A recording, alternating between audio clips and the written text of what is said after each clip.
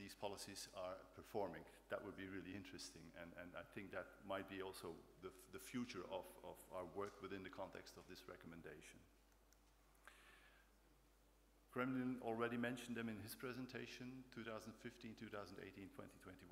We've issued country fact sheets giving us an idea of where we are with those policies within the different member states. Um, it is a, a collaborative work mainly by the national focal points because they are our pivotal element within the member states who are collecting the data, who is not always very easily available. They have to really reach out to other departments within their member states to be able to collect all the data as input for these indicators. WHO is a very appreciated partner also in this for us at the European Commission because they have been doing also very valuable work on bringing together and bringing also that methodology in place in terms of uh, collecting the data. Now, this slide gives you an overview of the table of um, the country fact sheets report of last year, of 2021, indicating the evolution also between 2015 and, 20, and 2021. And what we see is that there are two indicators who score relatively low in all member states. We see that for a number of indicators there's a continuous increase. For a few others there's a decrease, but it is stabilizing. So we have more or less 75% of the uh, indicators that are in place in the different member states. Our aim is of course to end up with 100%. That would be really the ideal world where we would have 100% in all the member states for the 23 indicators. Then we have our job done and then we can go home. But I think that will take quite some, some time still. That being said, um, I'll move on to the Healthy Lifestyle for All initiative. Kremlin also referred to it in his presentation. This is an initiative that we've launched uh, a year ago. September last year it was launched. It is the follow-up of the Tartu call. So maybe some of you are familiar with the Tartu call, which ran between 2017 and 2019.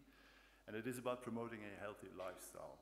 The difference between the Tartu call and the current um, initiative is that we've broadened it. Uh, initially, when we were in the Tartu call, we had uh, our unit, our DG EAC, who was working on it, DG Agriculture, and our colleagues from JRC, so the Joint Research Center, and the colleagues from uh, Agriculture.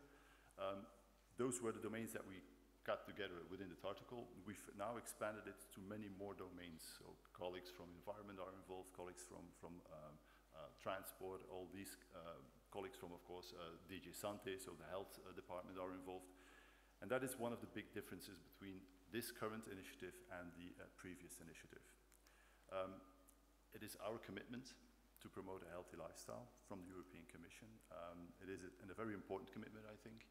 Um, and it is um, going across sectors. It's also something that was important in the recommendation I was talking about earlier. That's also going across sectors. So we need to make sure that it goes beyond physical activity and beyond sport. Um, and therefore, what we've done, and it's a two-year initiative, what we've done there is really reach out, as I've said, to all those different departments. And one of the indirect um, uh, results of it is that we now have regular contact with all these colleagues working in those different departments, and we are sitting around the table and also emphasizing the importance of physical activity and sport in their work.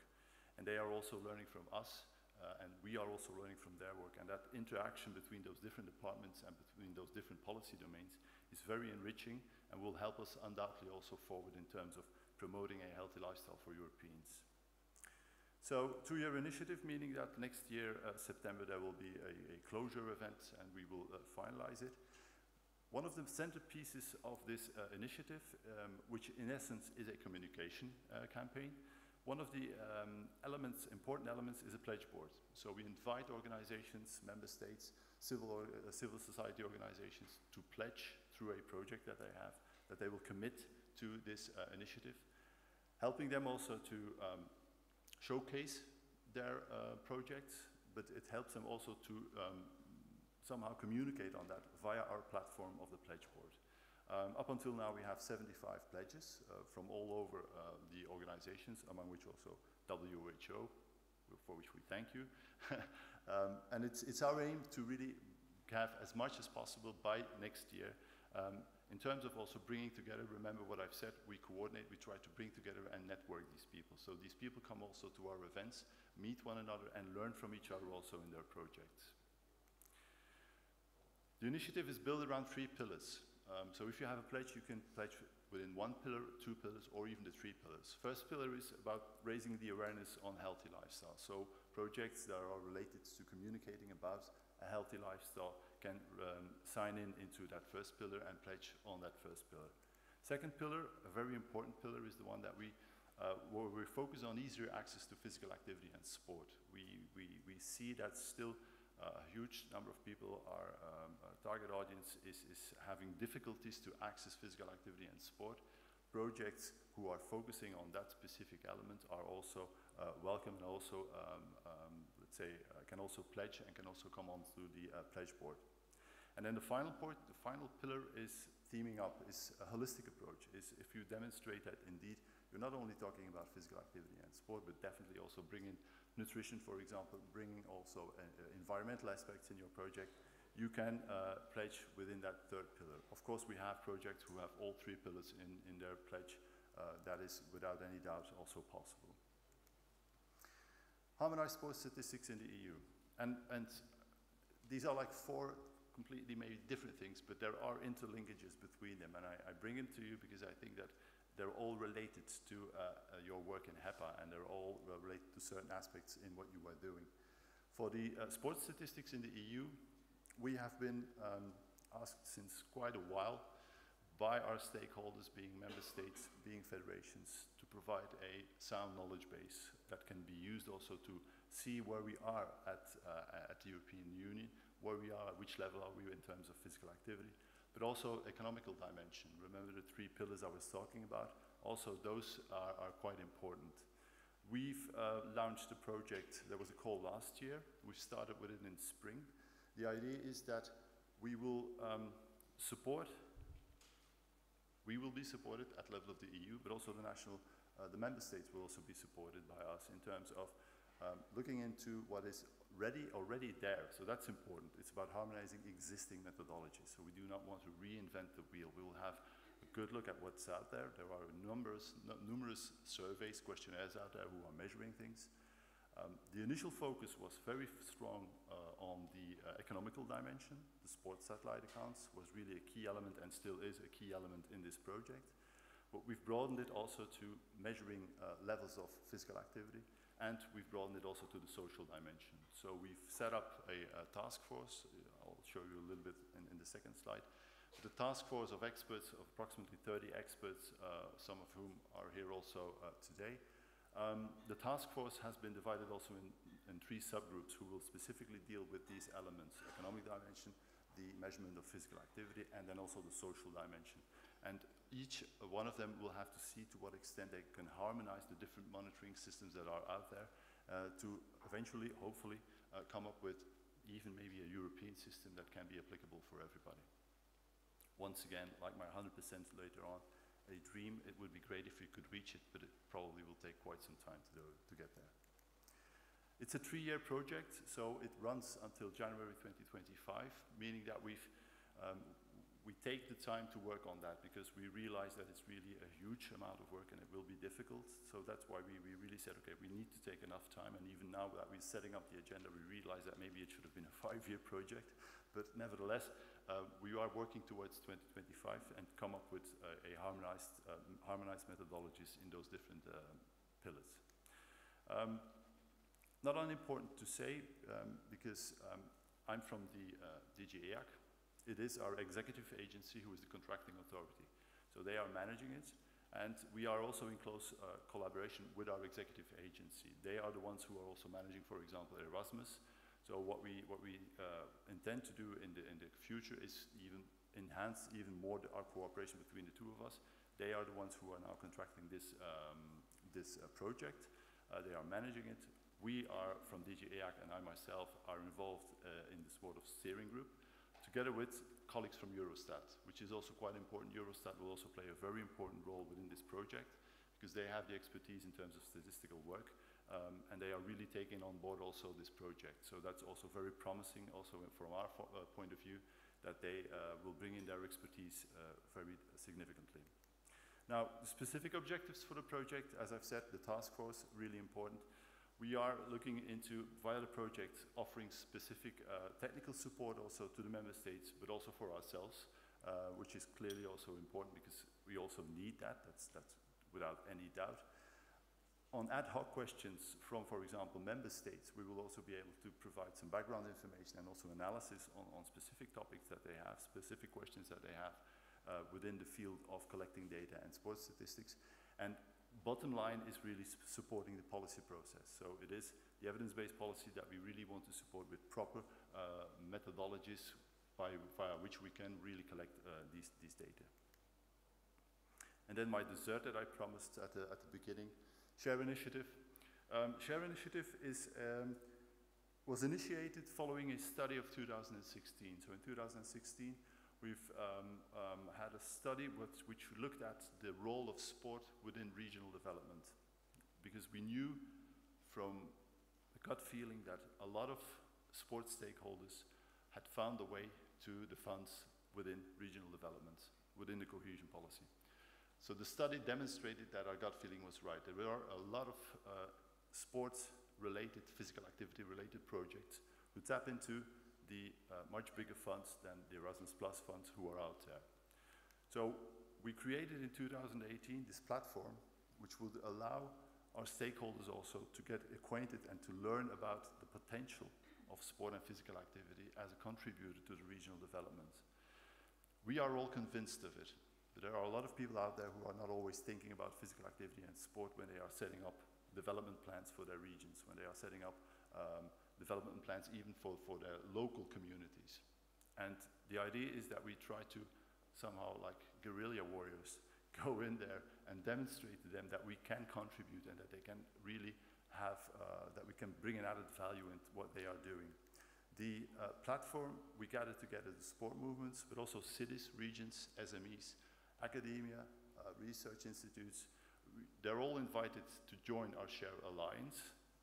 So we have a Share Alliance, which is the big group who's interested in that and who can bring in some, uh, some, some uh, expertise. And we have a Share Lab, which is a smaller group of approximately 15 uh, organizations who work very closely together and who are preparing um, what we are uh, doing as tools.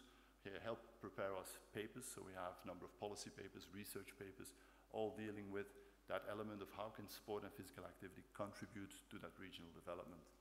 Um, we have a number of events that we set up, so uh, within a few weeks we will have a session at European Week of Regions and Cities, specifically on the green transition and green transition in and with sport clubs and how can they contribute with a number of presentations. Um, it will be an online event, uh, unfortunately. Um, online database, you, if you go to the website of the sport unit of uh, DG EAC, you will see that there's the online database indicating, I think we have like 220 projects uh, all over Europe where you have sport and physical activity who is part of a project that has been funded by the uh, Regional Development Fund. Um, and of course, in terms of communication, there also what we try to do is issue uh, newsletters, so we will repick that, we will restart that again now in September. The project runs uh, for the time being up until June next year, but given the need and given the request from our stakeholders, this is definitely something that will uh, remain and it will stay. Um, just on a side uh, note,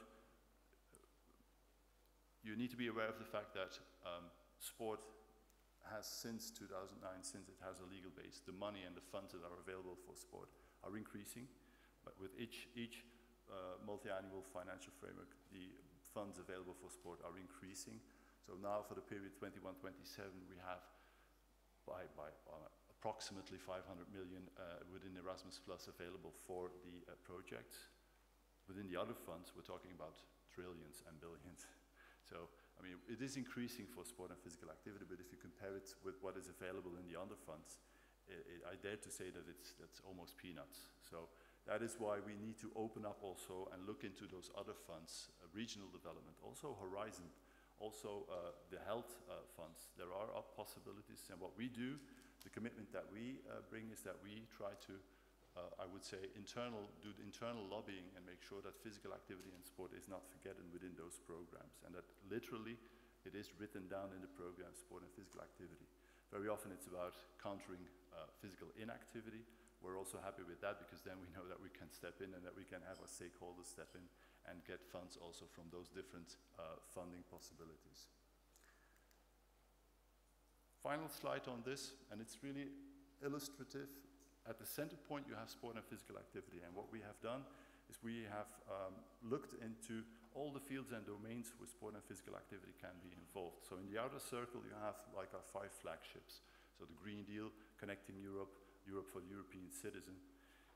The, uh, I would say, um, light blue balls are like the programs and the different elements that other colleagues in other departments outside of DG EAC are working with.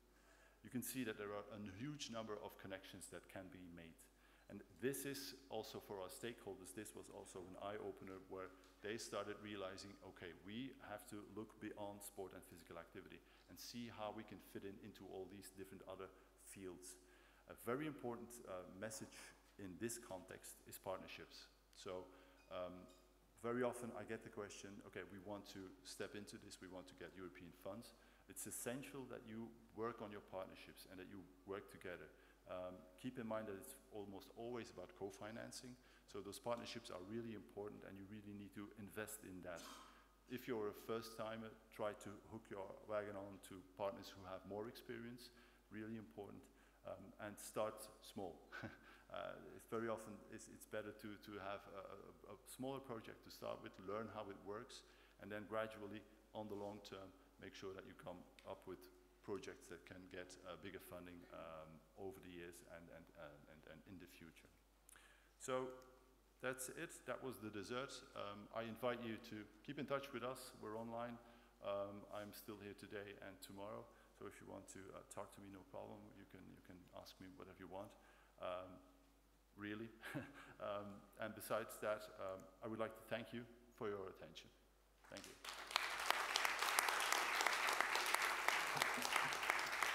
Any questions? Do we have time? Any questions? Any questions? Please.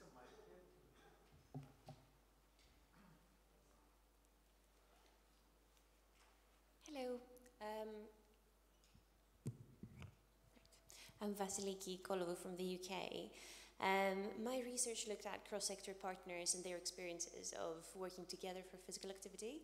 So as you said, it's quite important, I agree, to engage all sectors, not just uh, physical activity and sport. My question is about funding. A barrier that usually is reported is, is about funding um, systems and how things are funded so that it creates a little bit of an imbalance between partners so that one partner maybe gets the funding and then they have to split it amongst them, creating a little bit of a tension sometimes. So I was wondering if you have any thoughts about how we can overcome that with how funding is distributed and help kind of that balance and fairness among the partners? Mm -hmm. yeah. Thank you. Thank you for the question, and, and it's a good question, and it's uh, from our experience, as I've said, we have the Erasmus Plus project, where we have uh, each year at the end of January our uh, Sport Info Day, where we invite our stakeholders to Brussels, where the explanation is being given on how the uh, project runs and what it is, how you, what the objectives are, and how you have to apply. And one of the things that there is, is clearly indicated also is the relationship between the partners and how that you, how you can set up. So we do uh, organize these sort of, I would call them capacity building, uh, in terms of learning how to work together. And that's why I've said also that it's crucial and very important that you um, have a long-term vision also and start partnering up.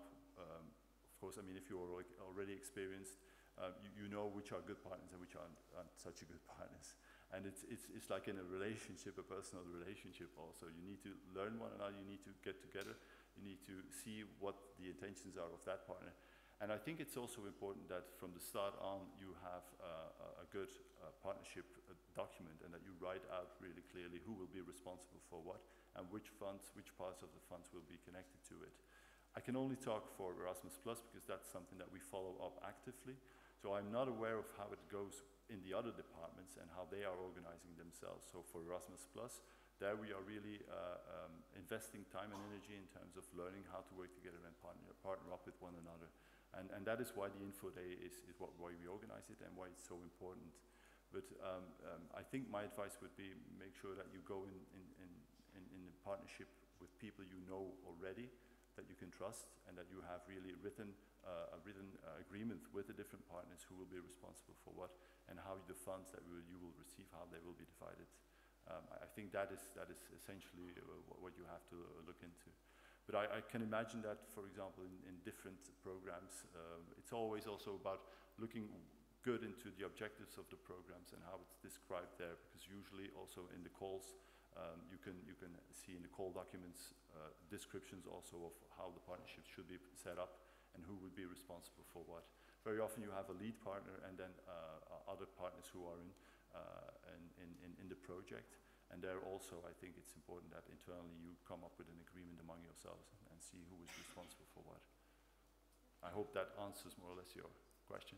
Yeah, can I add a little bit about the funding bit? Sorry, it will be very quick. Um, would that be funding for the evaluation bit attached to it, or is it just funding for running the activities and interventions, and evaluation is up to the partners? Well, once again, I go back to Erasmus Plus.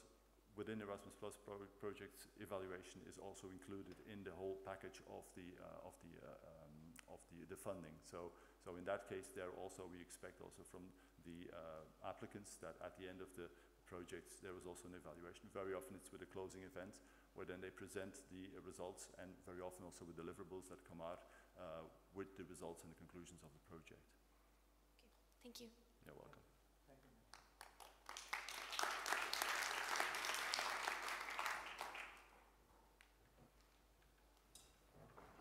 Thanks, Michael. That's definitely too tall for me.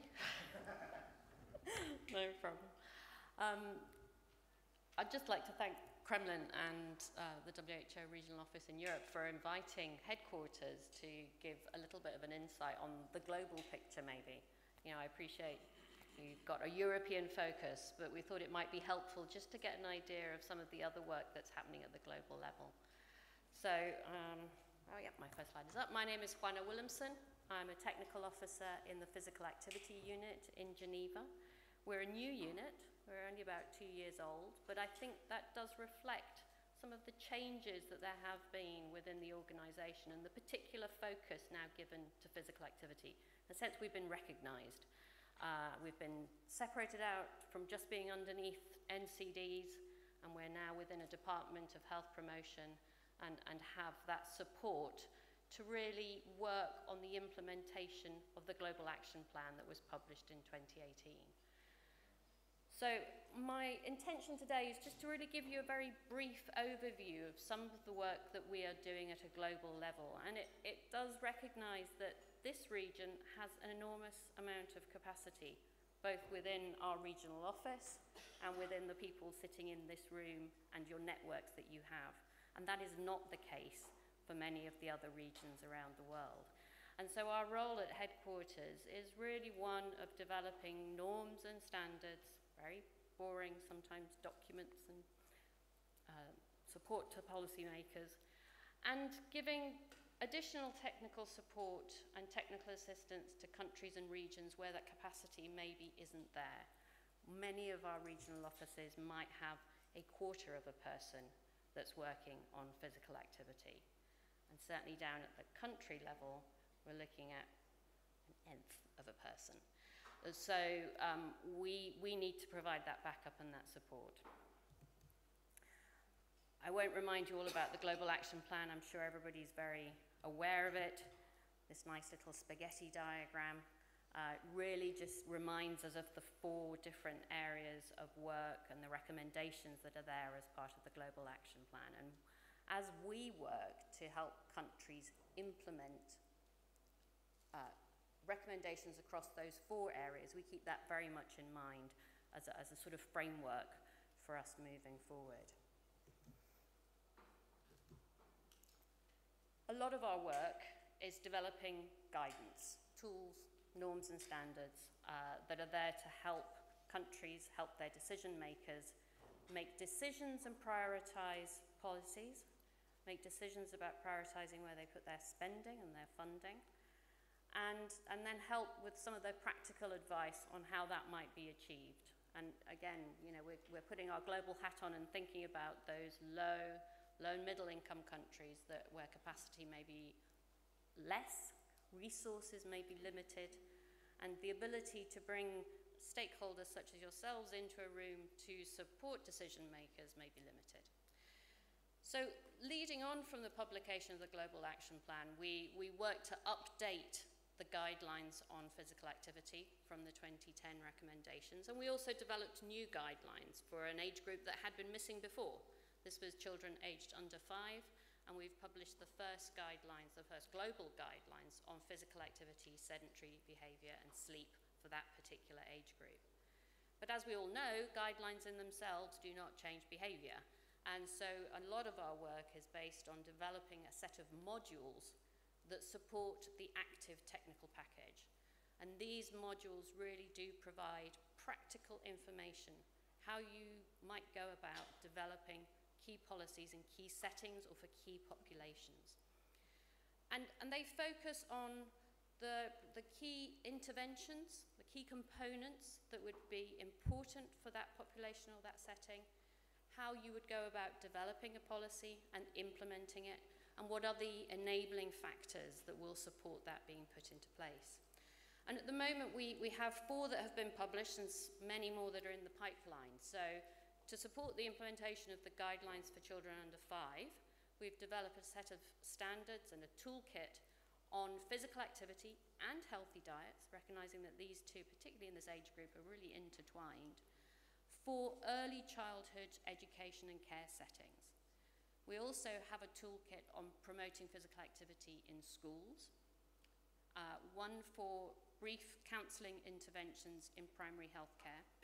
And related to that, there's a um, part of the Be Active, uh, Be, Be Healthy, Be Mobile initiative. There's Be Active, which is an SMS program to support people who are very sedentary to actually start doing some walking and take them up to about 10, 20 minutes walking uh, a day over a think it's an eight week program.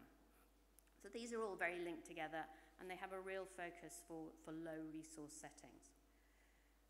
The top red one at the top there is a um, toolkit on communications campaigns, so mass media communications campaigns on physical activity, which is under development at the moment.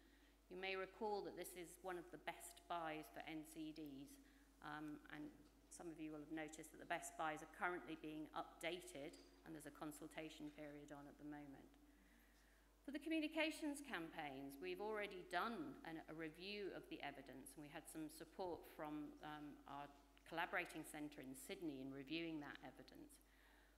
But also in looking at some of the campaigns that many countries around the world are doing or are certainly stating that they have done in the last couple of years, we see a great variety in terms of the quality of some of those campaigns and the elements that they contain. So we're currently developing a set of best practice criteria to really guide countries on what would be the, um, the important elements when developing, delivering, implementing, and then evaluating any communications campaign on physical activity. And this will be part of the process in developing the toolkit as well. So that toolkit's under development. We have a toolkit on walking and cycling, which will also come out shortly, I hope.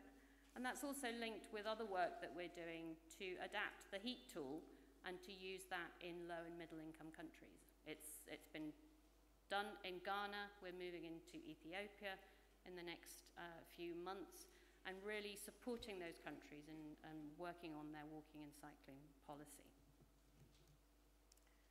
So for all these toolkits, and as I said, there are a number that are under development or in the pipeline, they're really based on evidence.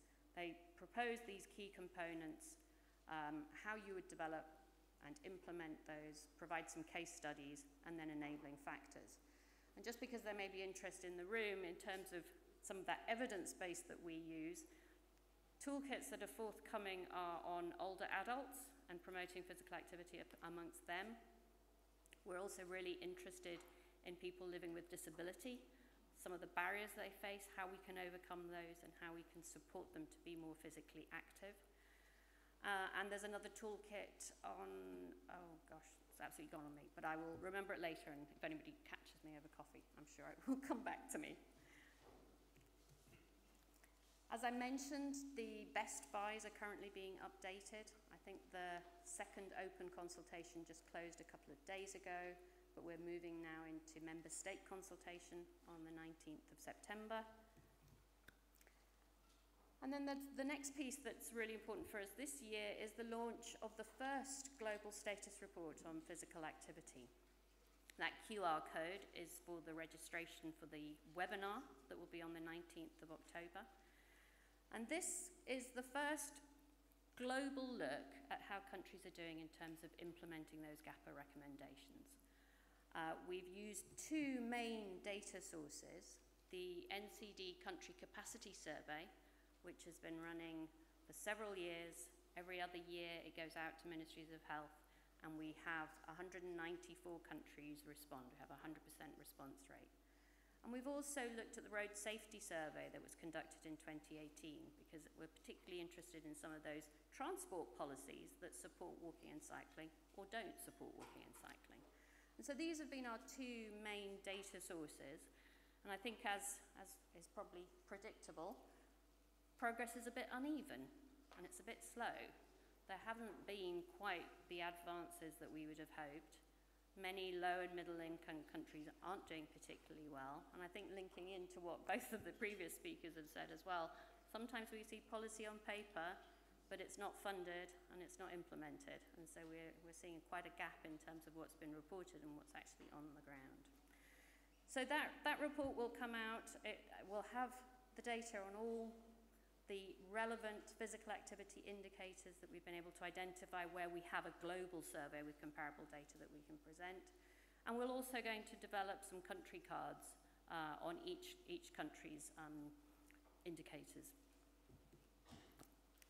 So I think that's probably all from me. Um, there is a lot of other work going on. There's a lot of other work going on in terms of some of the sports legacy work that we're, we're doing, bringing different um, stakeholders together uh, to, to really develop uh, a physical activity system uh, and bring, bring them together as, as a whole. There's work advancing, as I said, on these key populations. Uh, we've really prioritized older adults and people living with disability moving forward. And there's physical activity being implemented and inserted in different areas too within the organization. So later this month, there are guidelines on mental health in the workplace, which include recommendations on physical activity. And I know work is just starting on some guidance on, for people living with dementia. So it, it really is going across the whole organisation as well. Thank you. Happy to take any questions. Sorry, yeah. Thank you so much, Abby King from Stanford University. That was wonderful in terms of seeing what you all are doing. Can you comment at all on any work looking at urban nature and physical activity and both health and the environment?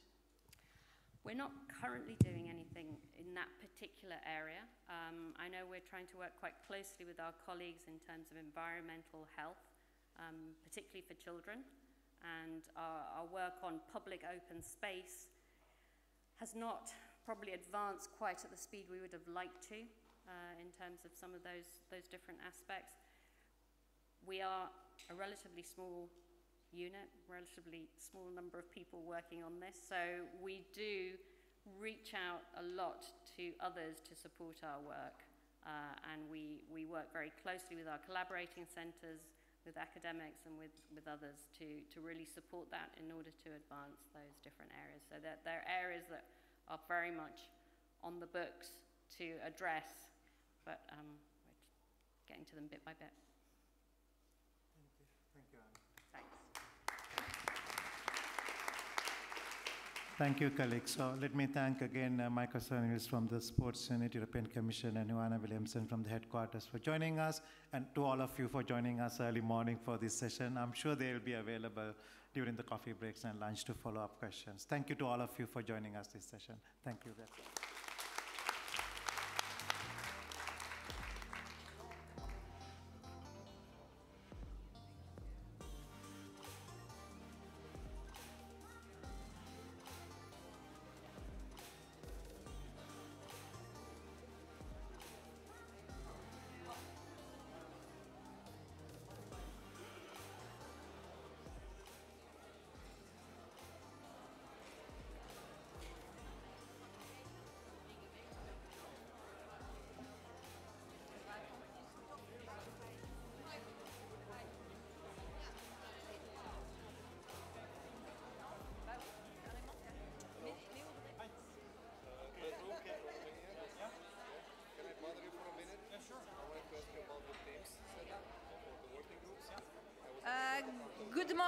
Everybody.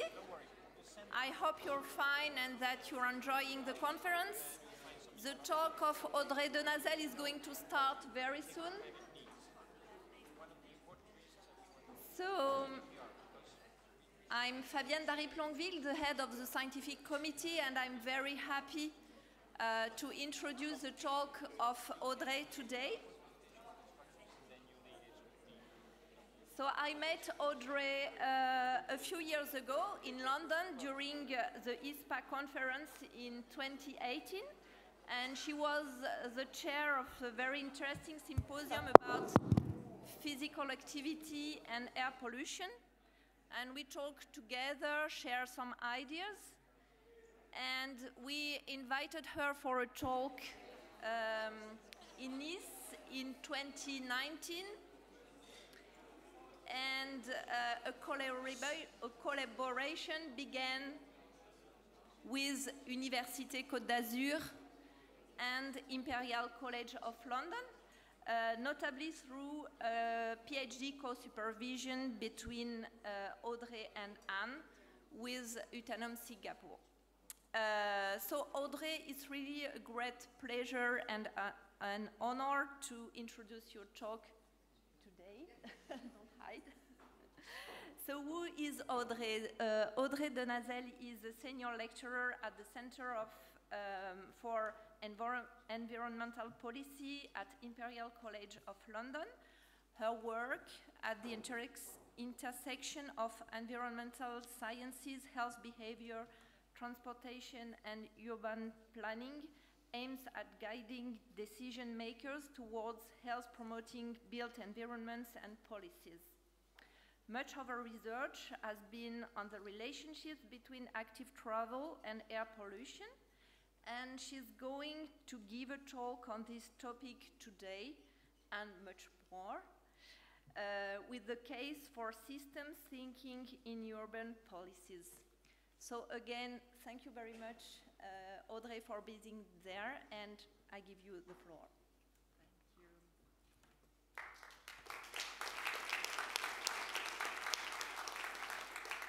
Thank you so much, Fabienne, and thank you, Anne, and thank you for inviting me. It's been a real pleasure to be here. I've been really enjoying the talk so far. I'm really looking forward to discussion uh, the, uh, today as well and tomorrow. And as for beautiful Nice, uh, I'm here with my family, and they get to enjoy it and have fun, so that's good for me too. I get to live vicariously. So, speaking of my family, I had a very long flight over from Santa Fe, New Mexico, and we had lots of delayed flights. And so as a result, my kids really helped me out with those slides. So I hope you enjoy their, their inputs into those slides. Um, so I'm here uh, to talk about really trying to make the case for using systems thinking approaches in the way that we tackle physical inactivity, but also other major great uh, public health and uh, planetary health challenges such as climate change and, and, and air pollution. So just so we're on the same page, what do I mean by uh, systems thinking? Yes, that's input from my little seven-year-old son. so um, what do I mean? So we're all on the same page. Systems thinking for, to me is really thinking about a problem as a whole, as an entire system, and understanding the interacting factors. And it's really so that we create uh, evidence-based research that uh, analysis that helps us tackle real-world problems, so that we understand not only feedback effects, uh, but also making sure that we reach our uh, intended outcomes, our desirable outcomes, and we prevent uh, unintended consequences. So why do I feel that we really need this? I think in many cases, uh, whether it's to tackle climate change or air pollution, major public health issues, we tend to have a very narrow-minded approach to reaching our target. So we set ourselves a target, uh, for example, uh, an air pollution standard, and we tend to be very siloed in the way that we think about it and the way we act upon it. And that, as a result, we ignore that there may be some other pathways to reach that target. And we ignore that there might be some beautiful, oh, that was supposed to be a rainbow, I'm so sorry. My daughter's gonna be very disappointed. Uh, so we have beautiful um, uh, co-benefits along the way that we could be reaching.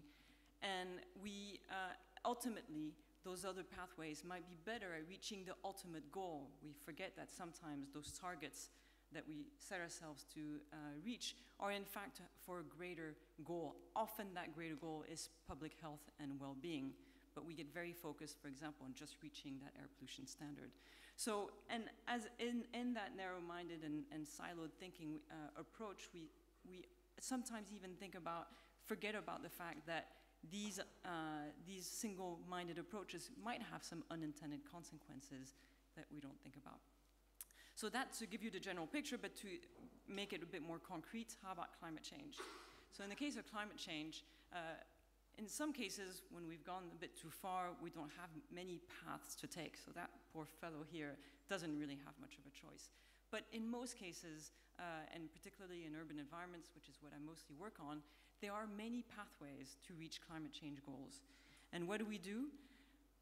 Again, in our often very siloed thinking, narrow-minded approach, we often think of technological solutions as being what's going to come and save us. So we sit back and relax and think, ah, it's okay. There's going to be electric cars all over our cities pretty soon. We'll be fine. Well, that's the kind of vision then that we, uh, we see for our cities. That's a kind of future that we see as climate friendly. And I think that's a missed opportunity. In fact, once we've replaced every single one of those cars in our streets with uh, another car but a different engine in it, will we seriously be much better off? Or can we do much better and think of completely redesigning our cities? So not only are we tackling climate change, not only are we tackling air pollution, but by the same token, we're creating a much better uh, environment for ourselves and creating much greater health and well-being. So that's what I want to do today is demonstrate the, the type of, of approaches and make the case for these type of very ambitious urban transitions. Now I understand they're not quite as easy and, and politically feasible as technological solutions, but there's so many good reasons to reach out and to try to aim at having these types of urban transformations. And you'll think, well, of course, it's a no-brainer. It's obvious this is going to be much better why is it not happening? So I've, I've, put a lot of thought into understanding, trying to think why it is that we're not integrating these much more health promoting types of solutions to tackle uh, multiple uh, urban and societal problems. So with some colleagues, we reviewed the literature to try to understand what might be some of the barriers and enablers of integrating health in, uh, reach, uh, in targeting a climate change or air pollution, so that we have a much more uh, comprehensive and, and, ambitious way that's health promoting to tackle these issues. So we've put together, uh, we've tried to think about it and, and we've identified really three major areas. Of course, all of these are completely intertwined and interconnected, but basically we have institutional arrangements that lead to very siloed thinking. Departments and sectors tend to work in, uh, in their own separate ways our evidence base that many of us are, are uh, involved here, here in is often also siloed thinking. We don't necessarily uh, embrace the complexity of the real world, the complexity of, of not only what are the multiple impacts of our policies, but also how we engage with policymakers and, and citizens. And we forget sometimes that ultimately it's political will, it's politicians who are going to make that, these decisions. So we need to really think a lot more about, and I think that's something that Abby touched upon yesterday, understanding far better how you, you can convince policymakers and how you might engage citizens in providing the, the support for policies for these really much more important uh, transformations in our urban environments than their simple technological solutions to tackle some of the individual issues. So I'm going to spend now the rest of the time uh, showing to you some of the evidence base that tries to tackle uh, in kind of uh, the system as a whole, trying to uh, demonstrate the, the, the benefit of having a systems approach, of having a more holistic thinking in, in urban developments when we tackle those major public health and planetary health problems. And as we go along, I'll point to some of the tools that we can be using and some of the thinking. Of course, there's a lot more work to be done, so it, this is uh, in, in, its infancy, but I think there's much more work. So I'm going to uh, show you as we go along the way. So my first example is the development of health impact assessments. So these could be tools that can be very uh, engaging, and I'm going to show you some an example of a health impact assessment that we did in, in London, where we looked at the strategies that were put in place uh, that were in the air pollution strategy in London. Uh, this is some work that I did with one, one of my uh, uh PhD students, Andrea Calderon. And so we looked at the policies that were in their quality strategy, and we developed some that were slightly more ambitious as well. We compared the uh, solutions that were technological, and in fact, most solutions, as I've said before, were technological in the uh, air quality strategy. Uh, things like the electrification of the vehicle fleet, for example. And we compared these with the more behavioral solutions. So all the behavioral solutions had something to do with um, uh, getting people out of their cars and modal shifts towards walking, cycling, and public transportation. Some uh, not too ambitious, such as just increase uh, by 10% of the cycle path network, and some far more ambitious, like reduction of the um, car traffic and modal shifts for 50% of the cars. And we looked at the impacts in terms of mortality, number of deaths avoided. We looked at two different, and that's the x-axis here is, is number of deaths avoided. We looked at uh, two pathways. One is uh, the impacts on health through the reduction of air pollution. Those are your the blue boxes here are NO2 and PM2.5. And we also looked at the physical activity benefits, and that's the yellow boxes. Ignore the green for now. So uh, what we found is that the modal shift uh, scenarios were uh, two to 15 times, had two to 15 times greater health benefits than the most ambitious uh, uh, technological solution, which was electrifying the entire vehicle fleet in London. So what we see is clearly when we look at the big picture and when we think about our ultimate goal, which even when we address air pollution, our ultimate goal is not necessarily just reaching an air quality standard, but ultimately we want to promote health. So when we think a bit more broadly about how we want to reach our ultimate goal of promoting health, clearly the behavioral solutions are far more attractive than some of the technological, than all of the technological solutions that are in the books, in fact. So again, see, taking the big picture, stepping back, thinking in systems, here's here some evidence that shows that uh, we can do far better than just technological solutions. But of course, when we, uh, we, we uh, get people out of their cars into walking, cycling, public transportation, physical activity, air pollution are some of the benefits, but you can get, think of a lot, a lot more benefits than just that.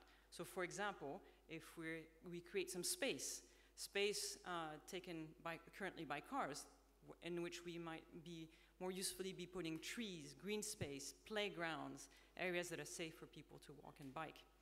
So to give you some more examples of uh, some of those outcomes that we can quantify, here's some work that I did also with some of my uh, former students, where we looked at multiple type of impacts that can be quantified in terms of, uh, again, mortality um, uh, avoided. So number of deaths avoided, that's your x-axis in this case. And we looked at various types of pathways. These, uh, this is a scenario for a health impact assessment where we reduce 50% of car traffic and reduce it um, and replace it with walking, cycling, and public transportation. So here again, when it comes to physical activity, uh, walk, those are the walking and cycling health benefits uh, in terms of mortality avoided, Again, we have uh, air pollution benefits uh, from uh, getting people out of their cars, additionally some noise benefits that we were able to quantify. And here appears some green space health benefits. So smaller than the other uh, impacts, but still you can see how just this is just exposures to, to green space that has uh, robust epidemiological analysis so we can quantify the health benefits of these types of, of urban transitions. So clearly you see here, if you were to uh, use technological solutions, all the physical activity and green space benefits would not, would not appear. And when you think about green space, there are multiple other types of benefits that are perhaps hard to quantify today, but are uh, nevertheless uh, can be quite engaging and are important for some sectors. Things like um, biodiversity, stormwater management, uh, the, um, the space for uh, urban gardening, for example. So all of these other types of benefits, which perhaps are harder today with the current epidemiology, current understanding, hard to quantify in robust ways with number of deaths avoided, which is kind of an easy, clear-cut way to express benefits. But there's some that are benefits that might be less tangible, uh, harder to, to quantify, but yet uh, can be just as important in terms of engagement. And remember, I said a bit earlier, an important thing is not just to uh, to demonstrate uh, the, the evidence in terms of impacts, but it's also figuring out ways to engage the public, stakeholders, so that we can be far better at pushing for new policies. So I think it's important for us to be thinking about the type of hooks, uh, not only the types of uh, outcomes that might engage different sectors, so we can create alliances across different sectors, but also think about what might be engaging to members of the public so that we can rally forces behind a, a common vision so that we can put pressure on our politicians. So I'm just going to show a few examples of some studies that uh, have outcomes that are perhaps, again, not quite as robust or tangible or easy to communicate, but that might be just as important in terms of engagement. So an example is uh, stress. I think uh, we often think of uh, urban living as being associated with stress, epitomizes pretty much uh, uh, life in urban environments. And many of us are more and more concerned about how we might address uh, stress. Not only is it a public health issue, quality of life issue, and I think many of us would like to figure out ways to relax and be less stressed in our lives. So in this uh, study, it's a part of a European project called PASTA. We looked at the stress impacts of different transport choices. And uh, in this case, we had uh, some measured uh, stress through galvanic skin response. And we saw that for people who cycled, uh, their time they spent in cycling activities reduced their amount of stress by 11% in a statistically significant way. For people who walks, walking reduced, reduced stress by 5%, again statistically significant. Now, in motorized transport, people had just a tiny increase, just a 1% increase in stress, but it is statistically significant. So we can see how engaging people in active travel modes might uh, be something that would reduce stress and might be an engaging uh, aspect of um, for, for people to look forward to. And, and, look, and, and bear in mind that these, uh, that these analyses were done with the current state of the environment in European cities. This is data collected in three European cities, London, Barcelona, and Antwerp, currently rather stressful for walking and cycling, and yet we're still finding some uh, clear-cut uh, impacts of, um, of uh, active travel and reducing stress. So again, something that might be engaging to citizens. Uh, in the same PASTA study, we did some questionnaires in seven different cities where we uh, asked people uh, their self, self-perceived outcomes like mental health and vitality. What we found is that for people who biked, the more they biked, the more they, they improve their mental health. This was statistically significant for any of the other uh, travel modes. Biking and walking increased the sense of vitality, statistically significant increases. None of these other outcomes were statistically significant for other modes. We also asked about loneliness and contact with friends and family, Cyclists, the more they cycled, the more they reduced their levels of loneliness, although we also found some benefits of motorized transport for loneliness. And people who walked, the more they walked, the more they uh, increased their interactions with uh, friends and family in a statistically significant way. None of the other modes had those statistical associations. So here again, we see that those are, th uh, are the types of outcomes that might be engaging more for, for public health uh, point of view, but also for for citizens, members of the public, who might be uh, probably not looking at those tables, but they might be engaged uh, with these kinds of outcomes. Something that uh, many of us uh, uh, would like to know probably, for those of us who struggle with our weight, again in the same PASTA study, we looked at body mass index in different travel modes and we saw that for people who biked, the more they biked, the more they had lower uh, body mass index, again, statistically significant, while the people who drove, the more they drove, uh, the higher their, their body mass index. In fact, on average, we found uh, a four kilogram difference between the average driver and the average cyclist. This is from a, a, static point of view, but we also had longitudinal data, and so we were able to see that for people who biked, if they increased their levels of cycling, they had a reduction in their body mass index, again statistically significant, and people who were uh, frequent cyclists and remained frequent cyclists without increasing but stable frequent cyclists, again, they, they reduced their body mass index, which wasn't the case for any of the other situations, which is uh, very occasional cyclists or non-cyclists at all. So again, something that uh, uh might not be the most prominent uh, public health concern as in the, the impacts are, might, might not be gigantic, although at the population level, of course, it's important. But it's also something that you might engage people, the, how people might be surprised at how much they can actually uh, reduce their body mass index by, by sim simply going uh, uh, on walking or cycling as their means of, of transportation. Some things uh, perhaps are difficult to convey with graphs and numbers, and maybe an image will do far better. And so thinking about how we might engage uh, members of the public, citizens, towards a vision of what our, our cities could look like. So this is a, a Fleet Street in London, a street that's currently full of, of traffic. This is what it could look like. Can this help us bring people behind us and say, look, you know, this, we can live in this environment if, if that's all what we want and we desire and we push for. So maybe communicating on how that future vision might be is, might be the best way to go about. Now, I mentioned earlier that, um, uh, that we need to consider unintended consequences. And of course, uh, that's part of the systems uh, approach, definitely need to be considering that. Now, unintended consequences of active travel. This is something that many people uh, uh, seem to be concerned about, and I've done a lot of research trying to understand the trade-offs between uh, walking, cycling, air pollution, and physical activity benefits and unintended consequences. So this is just one example of a modeling study I did in Barcelona where we uh, looked at modal shifts of 50%, no, that was 40% of uh, modal shifts from uh, driving to walking and cycling. And you see in the, the green and blue colors there are the benefits from air pollution and physical activity. And in the, the, the small red and orange uh, is the, the risks associated, the risks associated with increased traffic mortality and increased uh, inhalation of air pollution.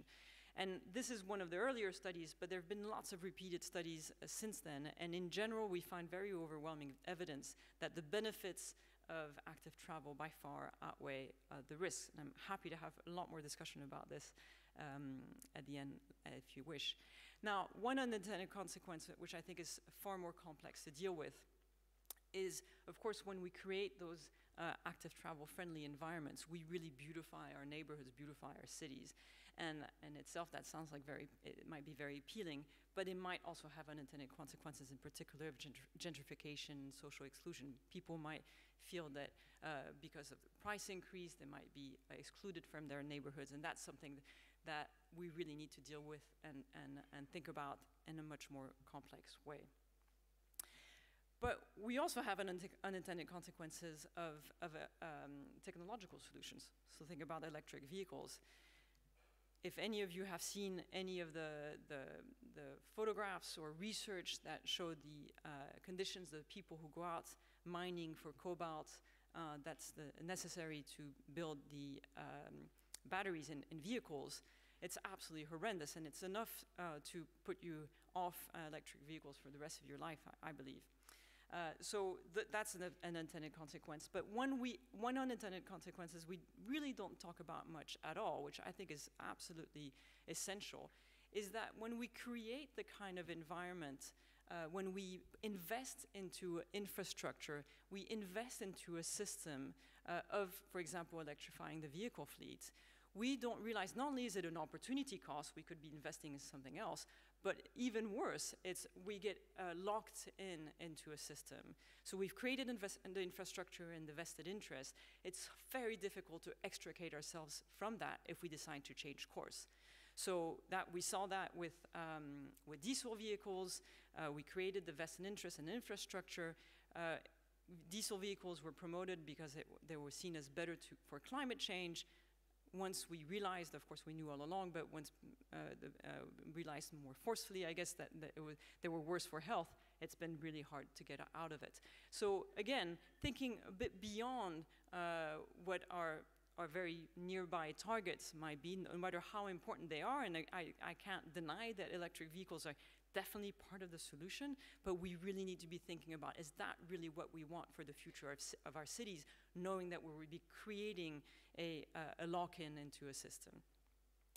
So, to wrap things up, um, I think I've shown that there are multiple types of benefits from urban transitions uh, that will promote not only active travel, but will help reach uh, climate change, air pollution goals. And we have, I've only touched upon a few of these, There are a, a lot more that can be discussed, that can be quantified. To me, the important thing is not just quantifying them and discussing them. It's really thinking clearly about what might create alliances across sectors so that the physical activity community actually works with the air pollution and the climate change or biodiversity community because we can work together and we, once we see how all of these uh, types of urban transitions work together towards the same goal, we can create alliances and push much, much uh, further for these uh, types of solutions. But it's not only talking to stakeholders and creating alliances there, but it's a lot about engaging the public, understanding what are their, the, what motivates members of the public, what are their hooks, how you can engage them in the policy process. So uh, I think thinking through these relationships is absolutely uh, necessary, needed uh, for our future. So I hope that you will join me in, in, in, in, making the case for these systems approach, for those holistic thinking across the different types of public health outcomes and challenges that we need to deal with today. Thank you very much.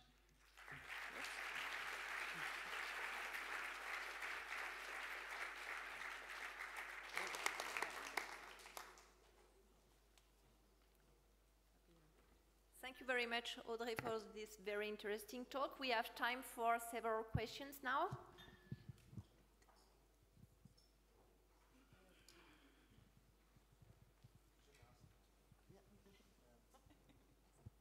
Is it on? Oh, yeah. Hello, um, Diane Crone, Cardiff Metropolitan University in the UK. Thank you ever so much. That was just really refreshing to see and such wonderful um, pictures of urban environments, whether they're real or, or not. Um, yesterday, uh, we had a really uh, refreshing talk about citizen science. I just wondered whether, you know, engage, you talked about, you know, the need to engage the public. I just wondered if you'd used some of the, any of those techniques yet in, in your own work. Yeah, completely. I mean, that's, that's uh, in fact, that's what I was mentioning. I think that was really nice to see that citizen engagement. Absolutely, that's the way to, to, to go forward, I think. Um, in fact, the slide that I was just about to show and decided not to because I didn't want to have a long talk is some work that I'm doing in, uh, and I, I, it's something that I want to talk to many of you about. And I've also some work that I'm doing, in fact, here with uh, our colleagues at Nice, developing uh, uh, approaches to engage uh, members of the public through, through apps now, there are lots of downsides of, of creating active travel apps, but to me, the, the essential bit of an active travel app is, um, and uh, this is work I'm doing with Anne and with, uh, with Jung, her PhD student who's here somewhere, uh, and, and that I'm also doing at Imperial with other students, is trying to think about not only uh, apps, active travel apps, journey planner apps that provide some information on, on your physical activity, on your, on your uh, air pollution contribution, etc. But it's also about seeing how we can use these to engage people, to be able to voice their concerns, to be able to voice their, their, their supports. So having, which is needed anyway from an engagement perspective, if you just tell people you need to do this, this, and that to be healthy, of course they're going to be disengaged, as we've seen uh, many times before, and as, as, as was mentioned also with, uh, by Abby yesterday. So providing them an outlet, a way out, by saying, uh, okay, perhaps you, don't feel like you have the, the right environment to be uh, walking and cycling, but here's what you can do. Write to your elected official. Take a picture of this junction that just doesn't work for you. And, and so engage, so provide those options so that there's always something that somebody can do when they use their, their, their journey planner app, for example. So that's something that I'm, I'm currently working on, and I think there's potential. And I, I, I loved seeing uh, Abby's work yesterday, and I think maybe there's a way of, of combining these, uh, these efforts for sure. Yes, you're completely right. Thank you.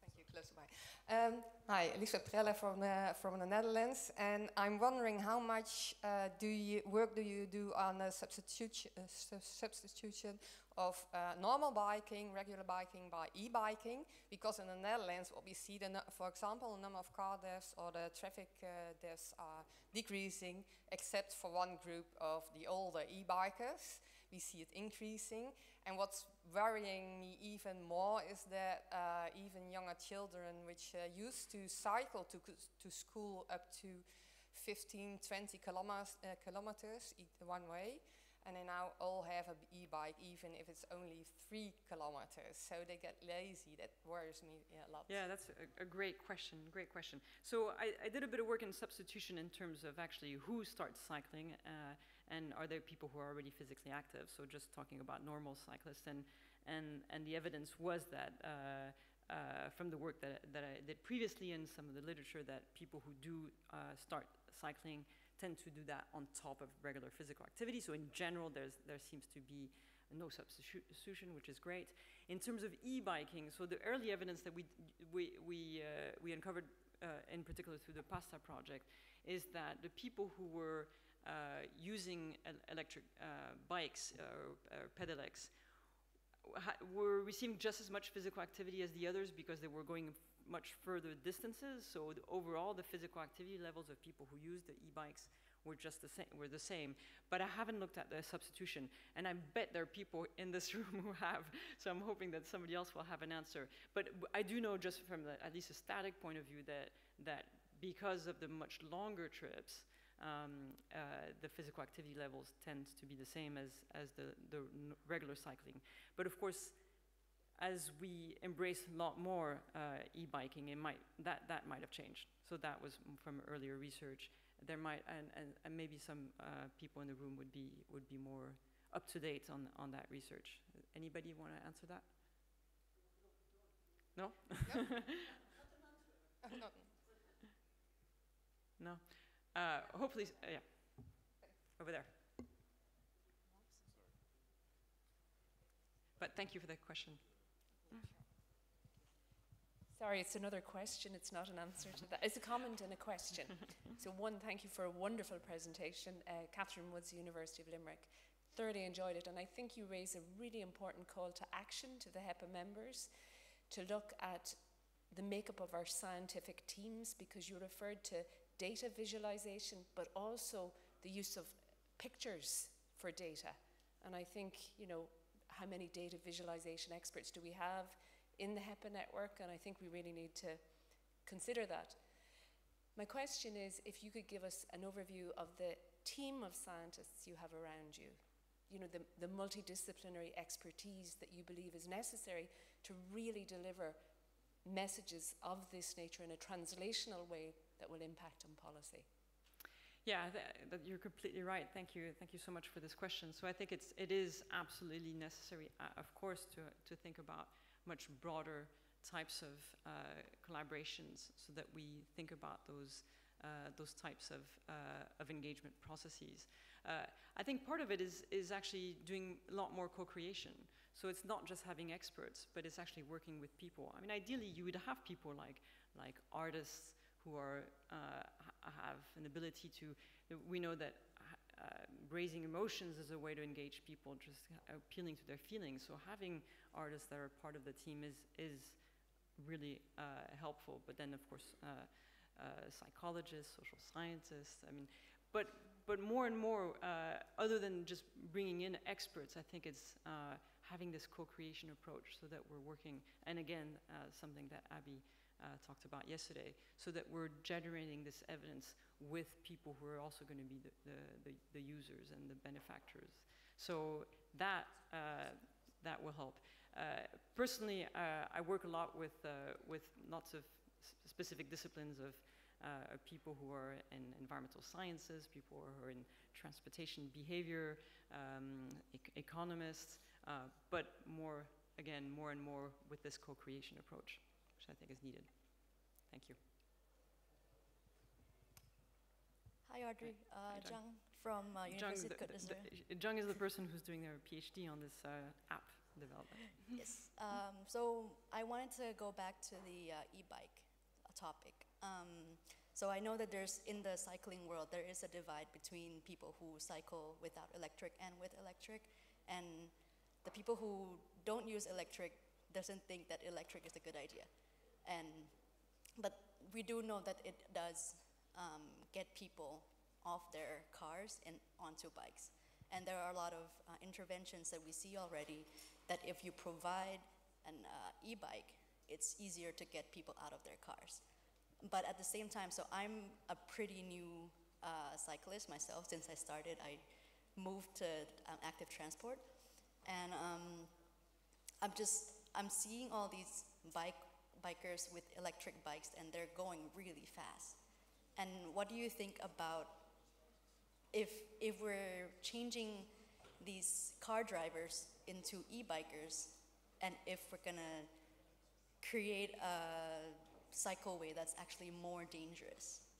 That's that's one of my. Yeah. Uh, what, what what do you think about that? Yeah, you're completely right, and, and you touch upon something that's absolutely essential. Is that uh, so? Some of us tend to be uh, uh, hard cyclists and, and a bit uh, ayatollahs of cycling, and, and reject anything that's not a conventional bike. I tend to be a bit that way. Like, ah, those e-bikes, they're a nuisance.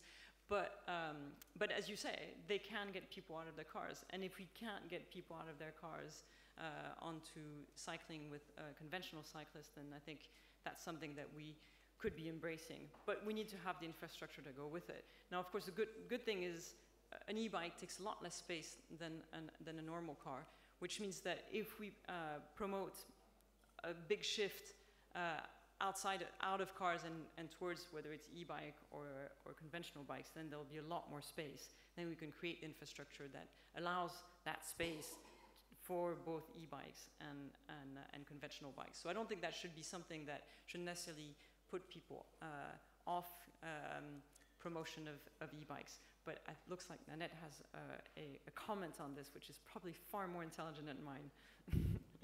uh, if there's a, um, a mic, a last question or comments, maybe an answer to this.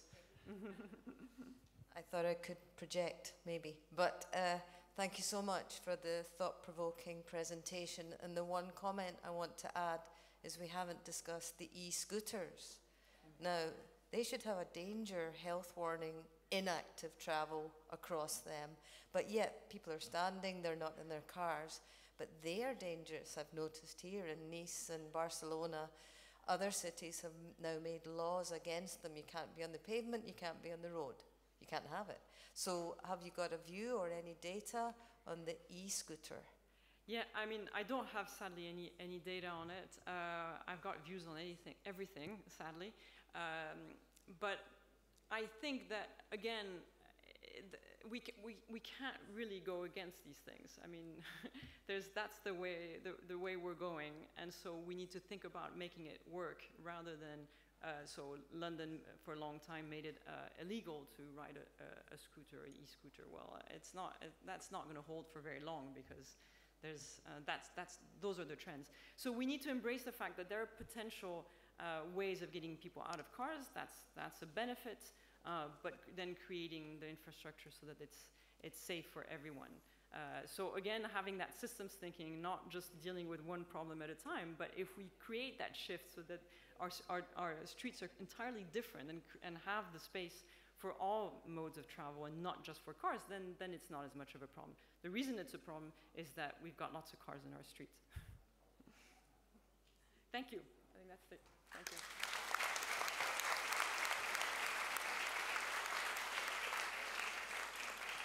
Thank you very much, Audrey. Here are some souvenirs for Université Côte d'Azur, and we will have five minutes of active pause with Stacy. Thank you. Okay, guys, we're going to get up again. This time we'll be a little more active because we'll go into a coffee break. So we've got the music up. Give yourselves a little bit of space. You can move into the aisles, move up front so we can get moving just a little bit. So we're to start same side, elbow to the knee. So we're going here to here. A little bit of balance. Try not to hit the person next to you if you need to move. Plenty of space up here. That's three, four. Let's go to the other side now. Here. And you're just kind of pulling it in, like you're grabbing something from the ceiling and pulling it down into your knee. That's four, five. Now let's go opposite. So we're going to go left hand to the right knee. Little bit of twist, a little bit of rotation. Make sure to keep your stomach tight. Draw the belly button in towards the backbone. That's three and four. One more here. Five. Switching sides. That's one. Two. Heart rates are getting up a little bit. Last one here. All right, now we're going to reach to the side here. And then opposite side. Again, a little bit of twist. We're gonna go five to each side. So that was three. And we've got two more. Good, last one here. And now we're gonna rotate the same, but reach up and bring the toe. So the whole body kind of rotates just a little bit. There we go. Two more here. That's one. Nice. And two. All right, feet together.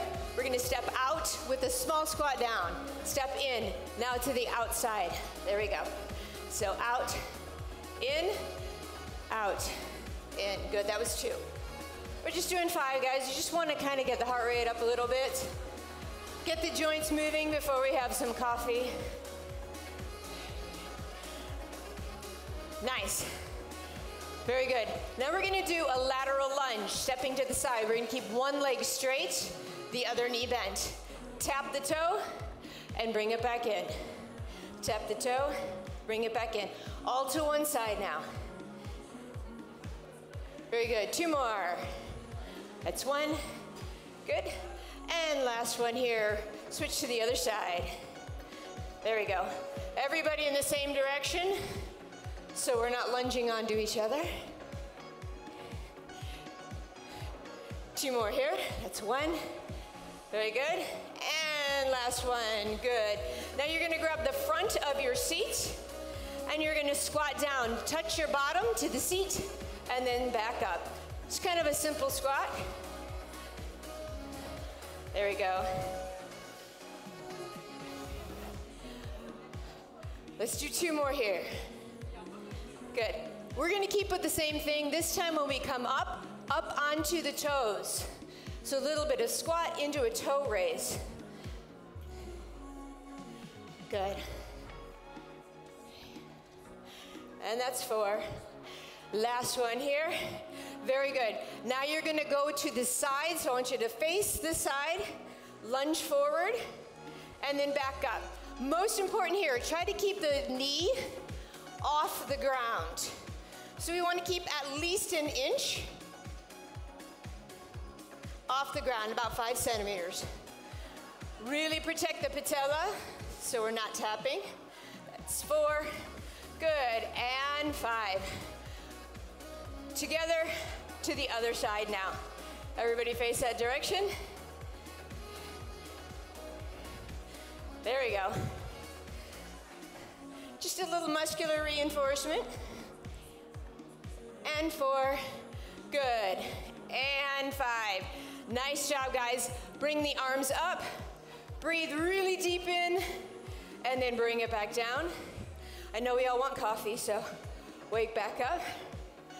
And then down. Nice. Breathe in nice and deep. Hold for one, two, and back down. And last one. Nice job. Give yourselves a hand. Little pause. The doors are open, and we invite you guys to have some coffee, some water. Bring your heart rate down.